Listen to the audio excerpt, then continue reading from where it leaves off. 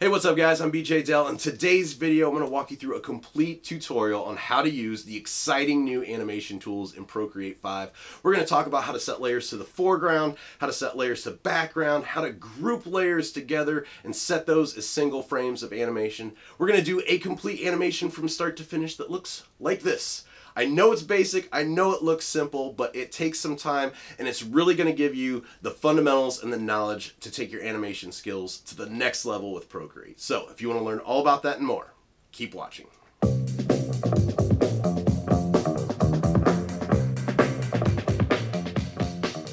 Alright guys, let's go ahead and get started. Since this is a Procreate tutorial, Procreate's only available for the iPad, so I'm using an iPad Pro 12.9 inch. This is the first gen model along with the first gen Apple Pencil. And uh, with this being animation, when we go over here to the wrench icon, and if you go to Canvas, the animation assist is how you get to the animation tools with Procreate 5 update. We're not actually going to turn this on right away because I'm going to work on doing the foreground and the background first.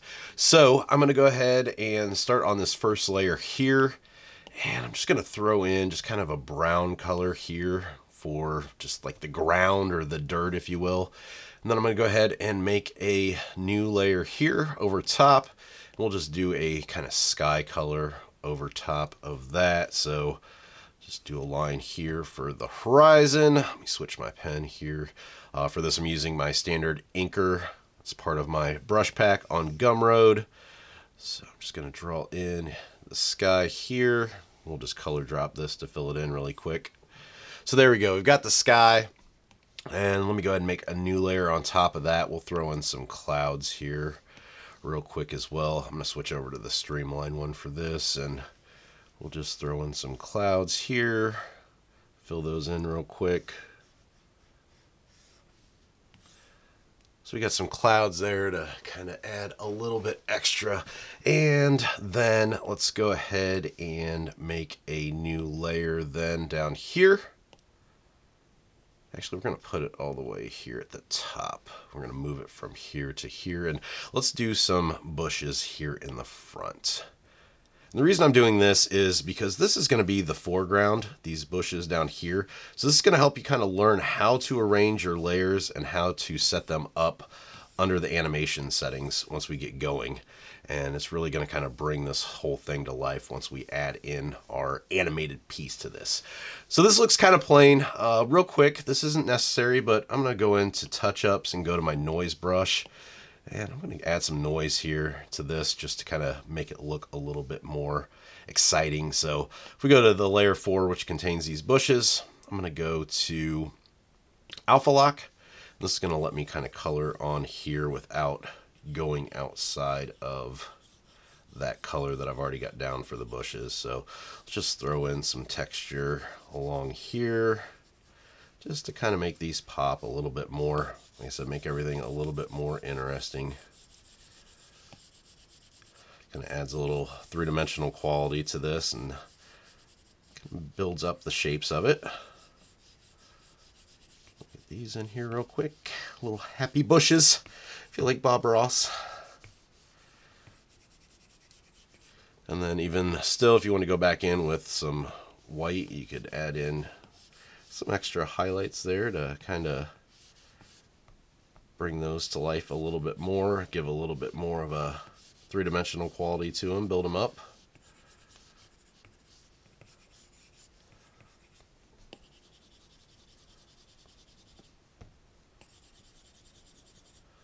So now that we've got that done, let's do the same thing to the clouds too. Let's just use a little bit of a lighter gray. And we'll go up to our clouds. We'll alpha lock those. Just kind of throw some gray in here to kind of build those up, make them a little bit more exciting.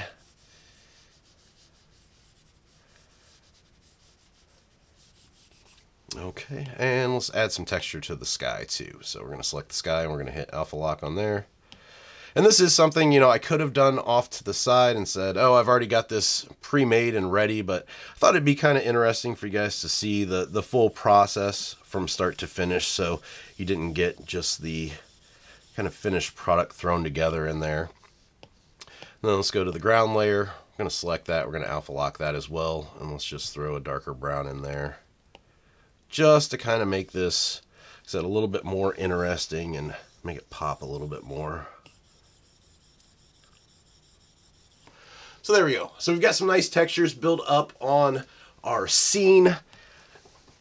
We've got the foreground, which is going to be this bush area here, and then we've got this, which is going to be our background. So this is the first time where grouping is going to come in. The foreground is by itself right now, but these are three separate layers here. So you could pinch all these together, or if you wanted to keep them separated so you could go back in and maybe fine tweak some stuff later, and you didn't want to pinch them together, if we just slide these to the right and make sure all three of these are selected, and we hit group, those are going to be part of a new group now. The great thing about animation in Procreate 5 is each group uh, you can actually set as a frame, so you don't have to go in and pinch everything together. Uh, if you guys watched my previous video on the animation with the old updates Procreate, everything we had to kind of pinch together and had to pinch the background together on every single frame, which kind of was a pain. So this kind of solves that. So now that we've got that done, let's go ahead and make a new layer. And we're going to make a ball as the animation. Something super simple. Uh, if you watched that previous video that I did too with uh, the animation, just animated a pinwheel. Um, just something fairly easy to do. And the reason why I chose that was because making the blades different colors really kind of drove home the point of seeing that animation in action. So we're going to do a ball here and we're going to do kind of that same colored lines on here. So it kind of has that uh, pinwheel feel to it. So I'm going to go ahead and draw some lines in here to make it easy to color in. Uh, let's go ahead and alpha lock this layer now, which is the ball. And I'm just going to go ahead and let me draw just a little dot here in the center. I'm going to do this on a new layer, just the dot, so that I can erase it once I'm done. But we're going to do this uh, directly on the layer of the ball itself. So I'm just going to bring down some lines to make the parts of the pinwheel color shapes, little triangles here make these a little bit wider here so we can see them a little bit better. We're going to go for four basically and we'll just use some basic colors for these.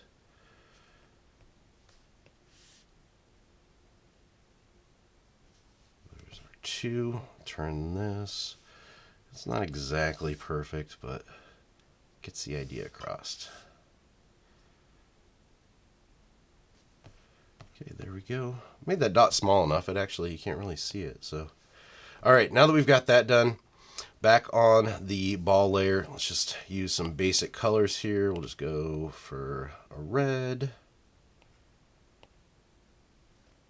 We'll color drop that in here. Uh, if you guys are new to Procreate, your color drop threshold, if you hold down the pen as you drag and drop, you can change the color drop threshold. So if it's coloring in too much, if you slide it here, to the left, it'll turn down the color drop threshold and you can see that it's not coloring in everything now. So it gives you the options to kind of play around with that. Do a yellow. And finally, let's do a green color here. All right, so we've got our basic ball in there. Looks a little bit plain just because everything else is textured. So let's just get a black here and Let's go ahead and go back to our touch-ups and just add in a little bit of noise there around it. So it's got just a little bit of something going on here.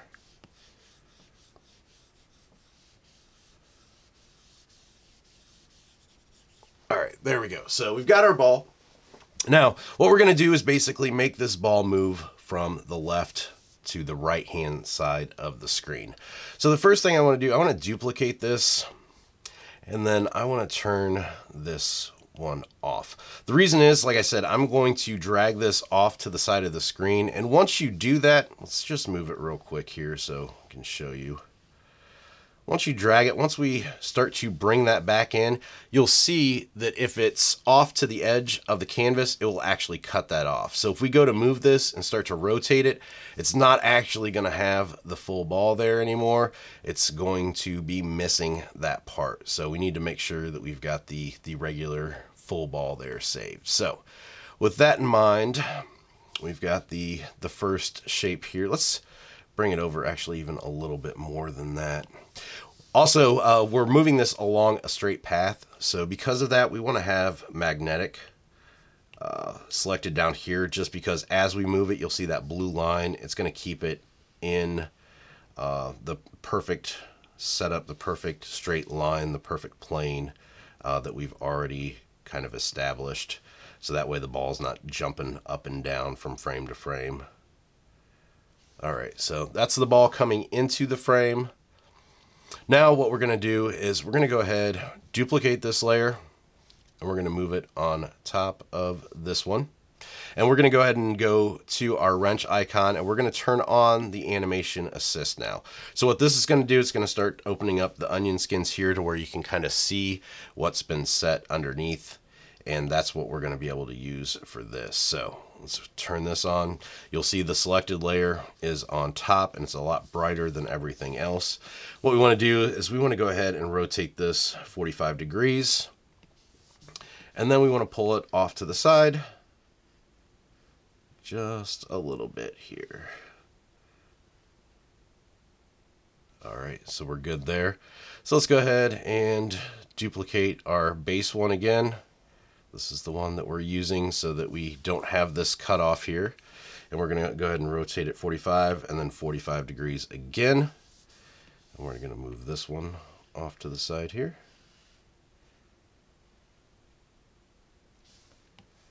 And then we're going to do the same thing. We're going to duplicate this one. Bring that up top here. I'm to rotate it again. 45, 45, and then another 45. And bring that over as well. Once you have things colored in like this, you can't really see through to the onion skin. So if you want to drop down the opacity to tell exactly where you're at on that top one, that's a, uh, a good way to be able to see underneath. If you're doing this just with lines, you don't have to worry about that, but that's something to kind of keep in mind as well. And then this, we're just gonna kind of keep going back and forth, doing this exact rotating and moving it just a tad bit each time so that we get the perfect roll of that ball.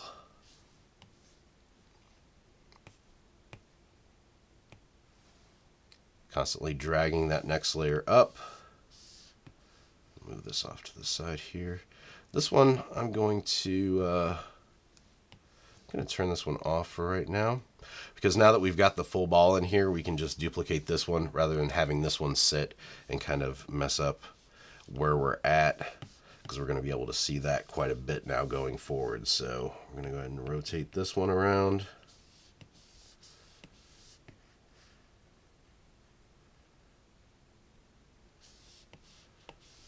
Pull that opacity back up. Duplicate this one. And this is nice too. Now that we're back to the using the previous frame, we don't have to rotate them as much all the way around starting with that previous one. So this one's just going to be rotating once now since we are using the previous frame as our next one.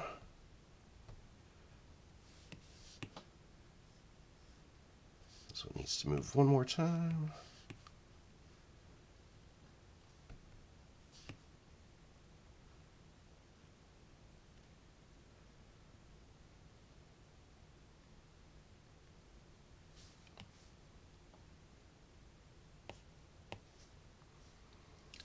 Rotate.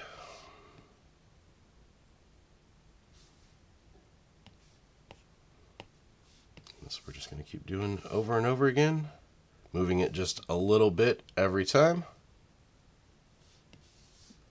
And with this too, consider what iPad you have. Uh, the pros, you're going to be able to get more layers than what you are with the regular iPads. So you might have to make a smaller screen size, a smaller canvas size to be able to get a bunch of layers if you're running out of layers really quick check your canvas size. If you uh, are using a smaller canvas, it will open up more layers. Doesn't matter what iPad you're on. The number of layers available will uh, be dependent on what iPad you're using, but uh, no matter what one you're using, the smaller the canvas, the more layers you have. And now you'll see we cut into this. This last one was actually coming off the page. So we're not going to be able to duplicate these anymore. We're going to have to go back to our original one down here. We're going to have to duplicate this one now and bring it up to the top.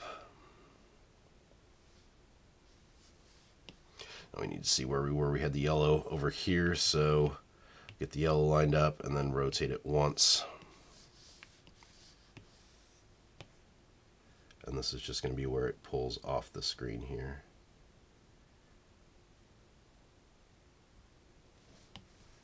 Okay, so go back down here. We're going to duplicate this one.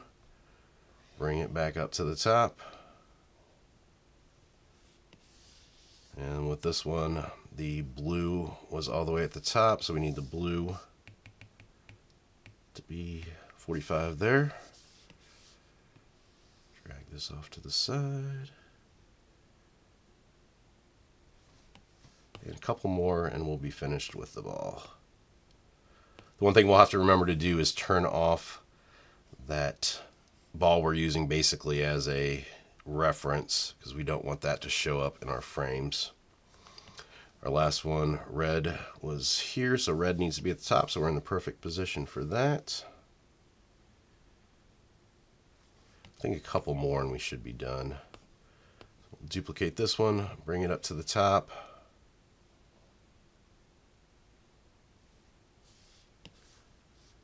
Rotate that once, 45. I think one more and we'll be good. So I'm going to go ahead and delete this one now that we don't need that anymore. Put this in here. And this one, green was kind of at that corner angle this way, so right there should be good.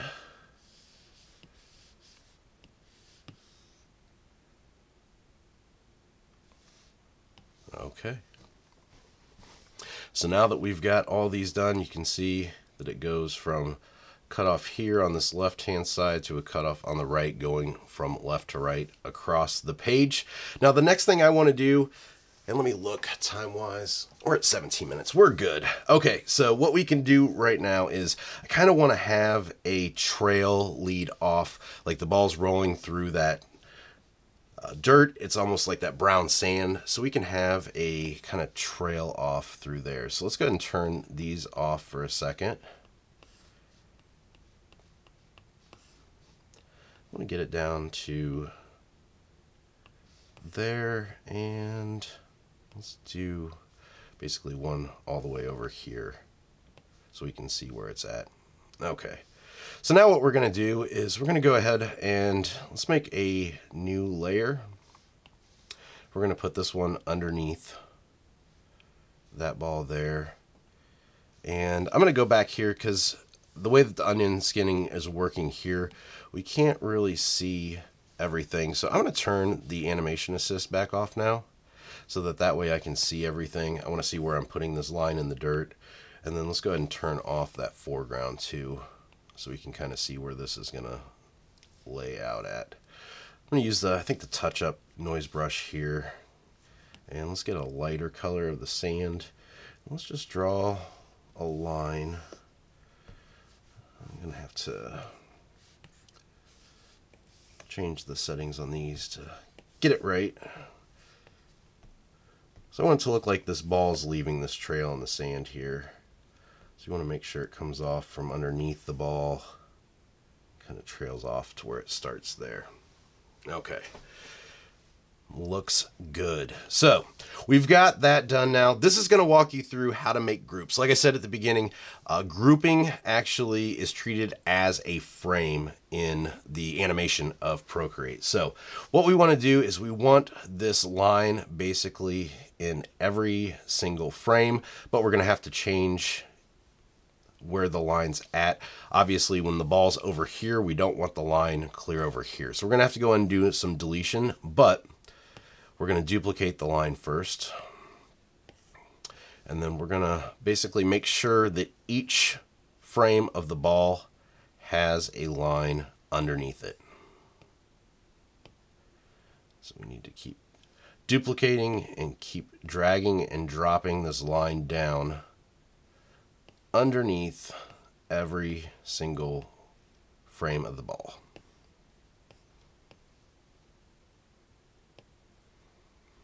This is a very kind of wash, rinse, repeat type of thing.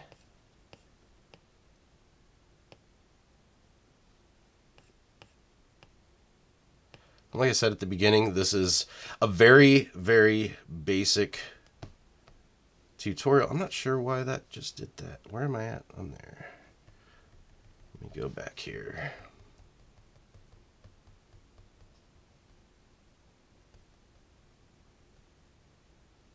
Oh, I think it's because they're stacked up is probably why. I probably had a little bit of a light line that you couldn't really see. Uh, when we won't be able to see those once we turn these other layers off. So I just noticed that, that big white section there. But as you add these layers on top, we've got some opacity there. And as these layers build, it's going to get lighter or darker. In this case, it's getting a lot lighter because each layer is going on top of each other.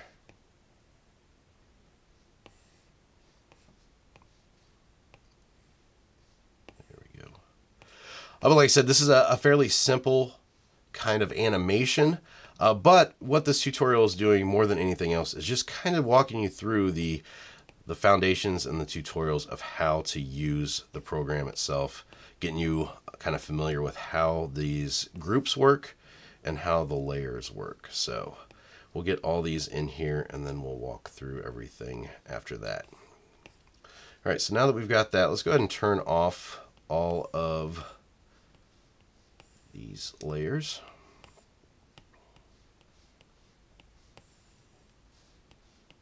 Just so we've got one at a time to work with.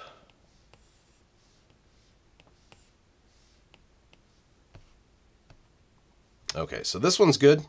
You can see there's no overlapping here. So what we're going to do, we're going to slide these to the right, and we're going to group these two together.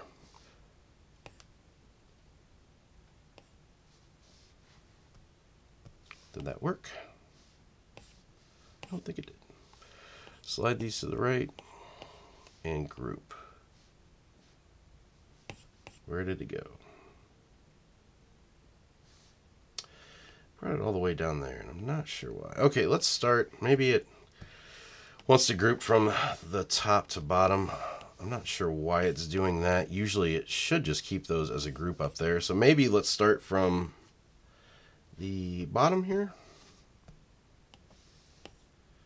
Let's try that and see. Let's turn these off. We'll start from left to right then. So obviously here, we don't want any of this visible. So we're actually just going to delete the line on that one. We don't even need that one. This one, same thing. We don't even need that line. So that was kind of unnecessary to do these. Some of these, yeah, we didn't even need. So same thing with this one. We don't need. This one's where it's going to start. So Let's go ahead and go to this line here. And what we're going to do is we're just going to go ahead and erase. I'm actually going to use the airbrush for this just so it doesn't do such a harsh line around the ball itself once we get to that. So there we go.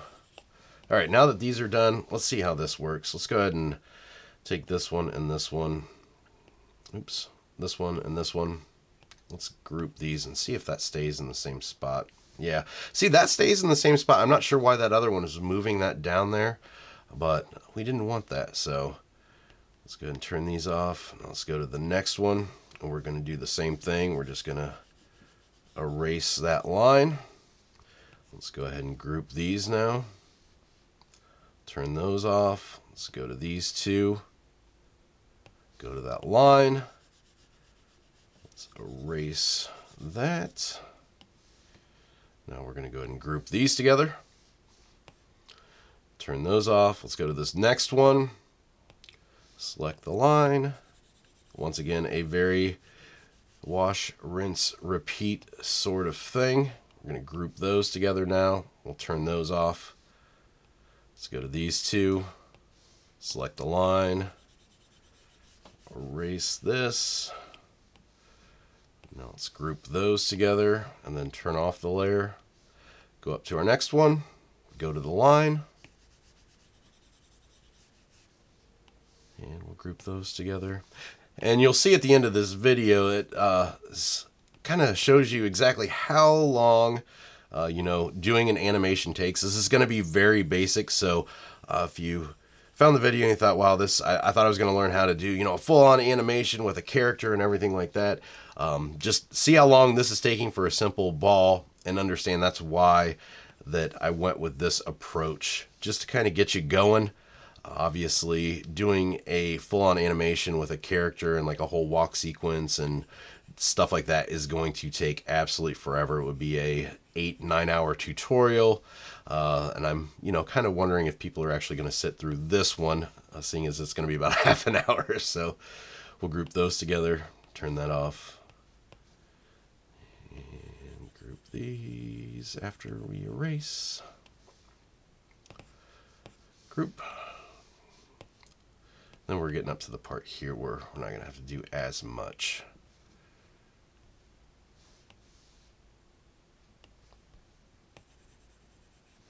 It's going to be almost like the beginning to where we really don't need to erase here on the side.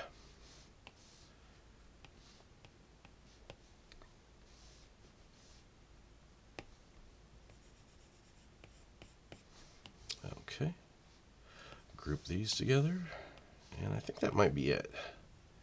Yep, that is it. So we are good. Um, now we just need to go ahead and group these remaining ones together. Hopefully they stay in the same spot where they're supposed to, which they are.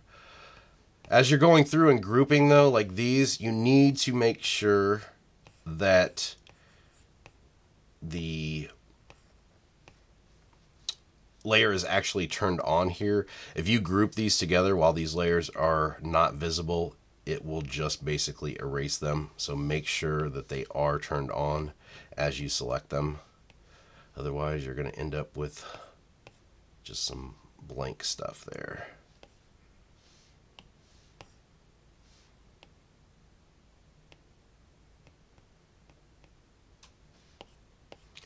group those. Oops, had too many selected there.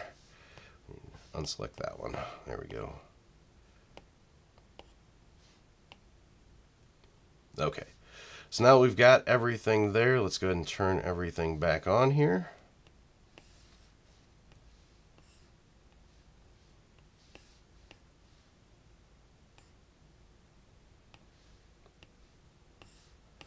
Sure everything is selected and visible. And then we will go to our animation and see the fruits of our labor, so to speak. Okay, so we've got everything selected. You can see now it's all visible just because uh, we don't have the animation feature enabled yet. We turned that off, so we're going to go ahead and hit Animation Assist again here. Now you're going to see in this timeline down here, our first frame is our bottom, which was our group that's the background, the basically the dirt here, the ground, the sky with the clouds. And if we go for, uh, all the way to the right, forward, we've got the foreground here of the bushes. So what we need to do to set this as a background is we need to select this frame and we need to select background. What this is going to do, basically, it's going to keep that in every single frame, no matter what. And same thing here with this one. We need to select this one and select this as foreground.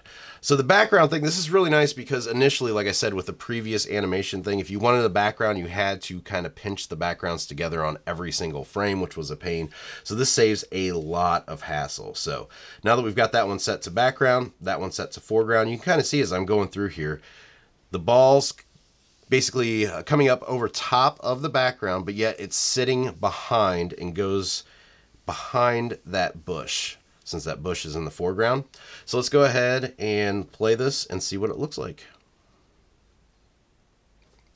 And there you go. As you can see, trails from left to right. It's got that nice line that it's leaving in the dirt, and that's our finished animation. Uh, from here, we can change some stuff if we want to. We can change the frames per second if we want to drop it down, make it go a little bit slower. This is uh, set at 5 right now, so you can see it going a little bit slower. If you want to go faster, you can do that.